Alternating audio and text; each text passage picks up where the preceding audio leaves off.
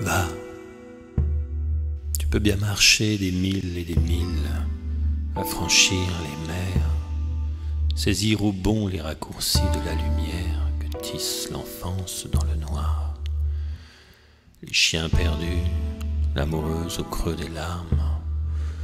Tu peux bien lester ton corps avec le chant du merle, débaucher un nuage plus vif, l'attacher à ton front tu resteras toujours, quoi que tu fasses ou dises, celui qui ne sait pas partir et qui s'en va quand même, barboter un peu du côté des collines, dans le bleu qui s'exalte, s'exalter avec lui parce qu'une feuille, un brin d'herbe folle arraché à la glèbe, grimpe dans le soleil et relève un instant toute chair, toute chute de l'oubli et du maigre gésir.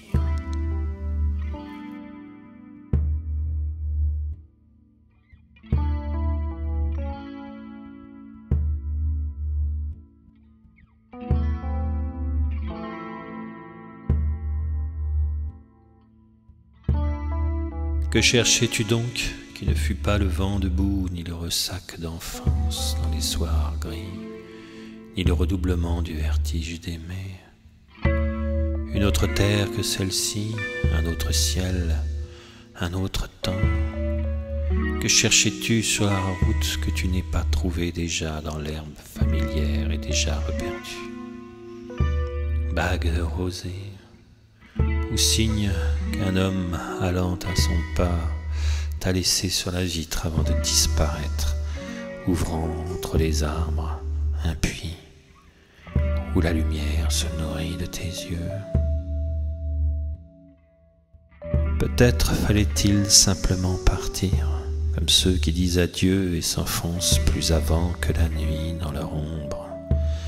Être un de ces amants de bois devant les larmes de l'aimer, qui remballe en vrac le cœur dans sa chemise avec les îles enchantées à la dérive, et les couteaux de miel et les promesses.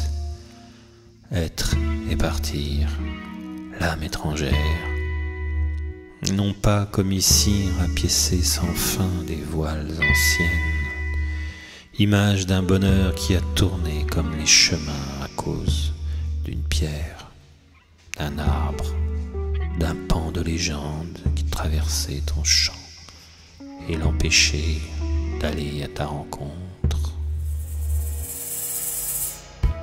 Qui je suis, je l'ignore. Lui qui marche dans mes jambes a le poids d'une feuille interrogeant la brise. Et s'il joue dans les bras d'une femme à brûler les vieilles peurs, c'est une lampe qui ne voit rien dans le tunnel creusé entre les flancs de l'insomnie. Rien qui le console d'attendre le réveil de ce corps traversé par l'inconnu qui dit avec la bouche d'un autre, passant comme la pluie et passant comme tout ce qui passe ici. Mais qui parle? Qui parle donc ainsi à toute heure, entre les bras du noyé, contre les portes, et sur la page où tu t'entêtes à ravauder ta vie avec des ailleurs, et toujours des encore, tandis que la nuit vient et toutes les fatigues.